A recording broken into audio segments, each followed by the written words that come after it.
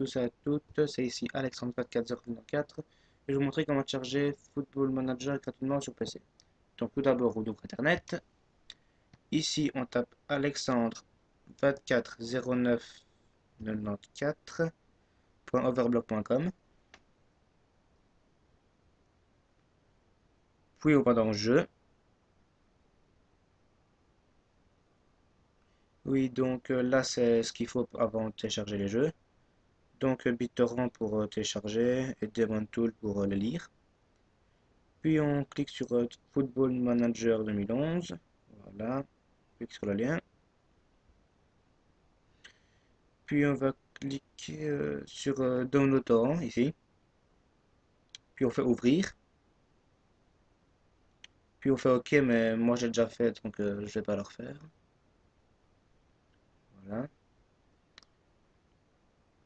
Donc, euh, ce qu'on a téléchargé, c'est dans téléchargement. Ça, pas dans téléchargement. Donc, euh, il est ici, voilà. Donc, après ça, on ouvre Demon Tool. Qu'on a téléchargé avant. On va appuyer sur le petit plus, là, ajouter un fichier. Puis, on va aller dans téléchargement. Et on va prendre le fichier. Puis il apparaît dans le catalogue, on fait double-clic, puis on fait clic droit ici, explorer les fichiers. Et on va cliquer sur Setup. Voilà ici.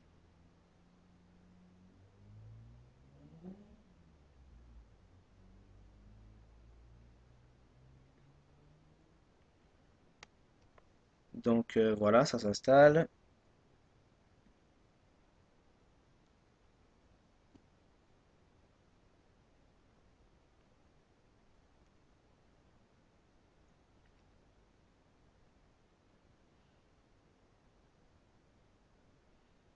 Donc ça apparaît ici. Donc là, euh, il y a anglais. Dans mon prochain tuto, je vous montrerai comment l'avoir en français. Donc ça prend quand même assez de temps. Là, je vais faire en vitesse rapide. Enfin, je coupe, mais ça prend plus ou moins un quart d'heure, 20 minutes pour le chargement. Puis on fait Next. Euh, on accepte. Puis on fait Next. Puis on met en hors ligne hors ligne, on fait next. L'express, c'est bon, on fait next.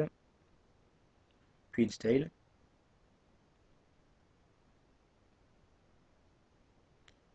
Ah pardon, c'est ça qui prend beaucoup de temps en fait. Voilà, là j'ai passé, ça prend 20 minutes. Puis on fait done.